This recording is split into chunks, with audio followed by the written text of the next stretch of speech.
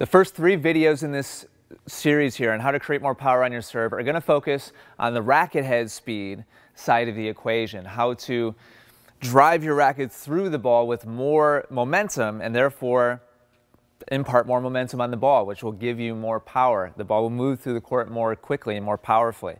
So the first thing we're going to focus on is good use of your body, ro rotation-wise specifically. We're going to talk, touch on other elements as well, but the first thing we're going to talk about is the rotation back of your body.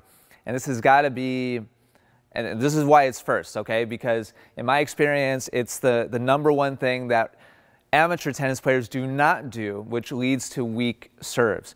Now, if you watch professional players, as they go back into their what's typically referred to as the trophy pose, you will see the front of their chest facing back towards the back wall, right around there, not always directly back. In fact, you'll see some variance here. Uh, Nadal, for example, doesn't quite get back uh, turned that far.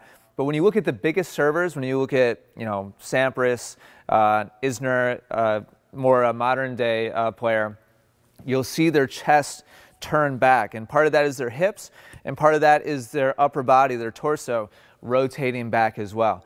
Now, compare that to a, an, if you go to your local park or your local club and you watch recreational players, amateur players play, you'll frequent, frequently see players that don't even turn sideways to hit their serve. They will actually remain facing forwards. You've, you've all seen this serve, line the racket up with the box and just hit the ball over with just the racket facing forwards and their body facing forwards the whole time. That completely cuts out the biggest, strongest, most powerful part of your body, which is your core. So we need to use this actively. We need to load it by turning back in our trophy pose and then use that stored energy to rotate forwards again towards our target and allow that momentum, that power to be transferred through the racket and into the ball. Now, if you are an amateur tennis player, which I'm assuming you probably are if you're watching uh, this video, what you should not be trying to do is copy the pros directly here, uh, which has been my um, contention for a long time. It was certain things you should be trying to copy the pros. This is not one of those things. Um, this, this is a big rotation to, to face uh, the back uh, wall, uh, to face the back curtain.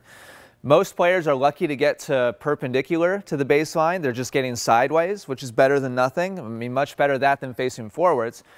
What you should be shooting for is turning about 45 degrees back. So if this is perpendicular with my chest facing to my right, and this is uh, a full 90 degree turn facing towards the back, you're looking for about 45 degrees or so facing towards the back uh, corner. So the way I recommend that you practice this is without a ball to start, um, take your racket, go back to your trophy pose, and practice just going to that position with your chest facing towards the back corner about 45 degrees or so to the baseline. Well, if you measure this way and that way, uh, 45 degrees. Okay?